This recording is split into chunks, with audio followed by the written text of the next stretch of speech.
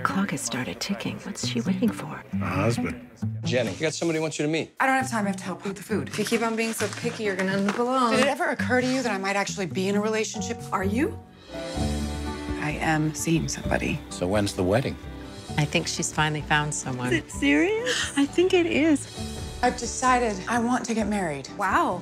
And now that she's ready to tell the whole world the truth, we're just supposed to go along with it. I know times have changed. I read the papers, I watch TV. We're ordinary people, not rebels. Ever since you were a little girl, I've thought about your wedding. If you spend your life lying to people about who you are, you never get to know who they are. I'm coming to your wedding. You're my sister. What do you want, Jenny? Just want what you gave Everybody else.